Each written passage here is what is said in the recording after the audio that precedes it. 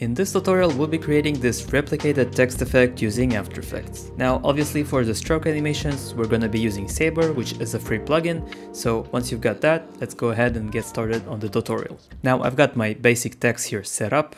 I'm to go ahead and create a new solid and we'll make it black and call this Saber and add the Saber effect to it. I'll drag it below here and on my customize core, change it to text layer and select our text layer. I'll set the core size to 1 and the glow maybe to 25 here. Then starting size set to 50 and this is our basic setup here. I'll go to the beginning of the comp and set the end offset to 0. Let's hit the stopwatch, go to about 2 seconds and just give it a basic stroke animation. So once I play this back, it just animates the stroke. So this is pretty basic. The only thing I want to do is give it some evolution. So I'll hit the evolution here. Let's go to five seconds and give it maybe 50 degrees. So it just scrolls through once it's animated. Let's go ahead and enable our text layer and maybe go over here and I'll hit S for the scale. Let's set a keyframe here and I wanted to go from 250 to 100 over the period of one second here. And holding down shift, I'll hit R to bring up the rotation and set a keyframe for it as well. I'll drag this keyframe to the beginning of my comp and give it one full evolution. So if I disable this here, you can see that we got the text rotating and scaling to the position. I'll select all my keyframes here, hit F9 and go into my graph and I'll just make it a bit of a faster animation at the beginning here. And once it scales down, like so. All right, this is good enough. Let me just reposition this maybe a bit sooner and drag these together here. Now the cool thing about Saber with text layers is it follows the transform properties of our text. So the animation and scale remain the same here from our text layer and this is how we're going to be animating this. Now if you're animating logos, you're going to be doing the same exact thing, but with masks. So for example, if I have a mask on my Saber layer, I'll just draw a quick cube here and I'm going to animate it. So here it will rotate like so and then scale down. So this is just in case you're doing this with a logo. There you have it. All right, let's duplicate the text layer and I'll go into my Saber layer and make sure under render settings that I have the composite settings set to transparent. So basically the effect is now transparent and not on a black solid.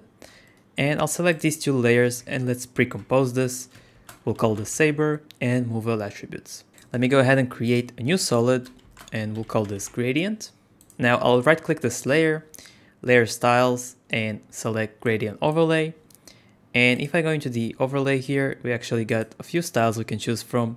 So let's go with reflected and we can go ahead and pre-compose this one as well and move all attributes. Let's hide this layer for now. And on my Saber layer, I can now add an effect called time displacement. And I want to select the gradient comp I just created. And let's set the max displacement to 0.3 and the time resolution to maybe 20. So once I play this back, you can see we get this cool animation of our Saber layer and we can control how many replications we want here with these settings and how soon do we want it to repeat. Similar to the echo effect, but this works in a more interesting way. So yeah, now this is all driven by a single gradient. So for example, if I go back in here and let me change the style to something else. So from reflected to diamond, for example, we're going to get the variations sort of like a diamond here. You can sort of see the shape here, maybe even increase the scale here. And then you can see those replications, which is another awesome effect. So again, you don't have to do the rotation, maybe just the scale, and it will come in like that. I'll change this back to reflected and set it to 100. And let's go back to our main composition. So right about here, let's say we can have the text appear. So I'll set a keyframe for my opacity here, pretty quick from 0 to 100 and enable our text layer. And I'll hit U to bring up the keyframes here. And let me just disable the scale and rotation because we don't need it for this one. And maybe go back into our Saber layer and just give it some impact glow. So I'll set a keyframe for these four. Let's hit U to bring them up. move a couple of frames forward and just increase this. So maybe 2, 0 0.7, 0 0.7, and 45. And then let's zero them out here. Again, you can do this however you want to. I'm just gonna design this kind of like you've seen in the beginning and maybe give it slide up graph here and just like a impact glow effect. So basically once it comes in, it also creates this sort of a shockwave, which is kind of cool, and then reveals our main text layer. Now to create the colors that you've seen in the beginning, I obviously just used a simple gradient here.